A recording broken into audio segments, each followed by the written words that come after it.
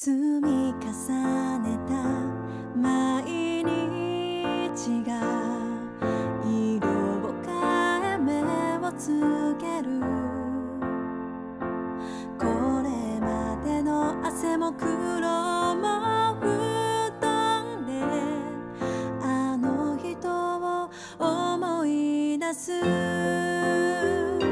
未熟ないやもう暑すぎてから。すごい大変でしたね。てかね今まで経験したことがなかったけこの暑さ。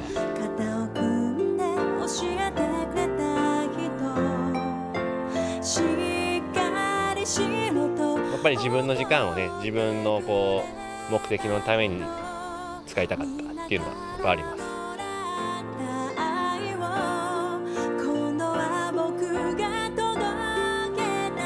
正直あの駆け出しの頃はね大変でしたね。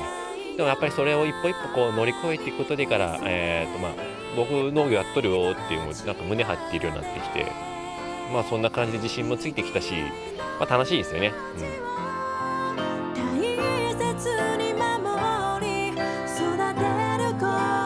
ん、料理やっとる人からあの要請があってから「ベビーリーフ作ってくれんか?」って言われたけ「おじゃまやってみっか」と思ってから作り出したんですよ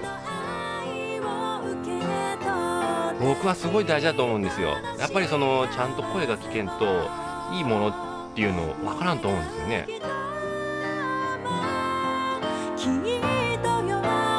農業ってこう面白いの？あ外から見た時にうわこんな人がおるんじゃ。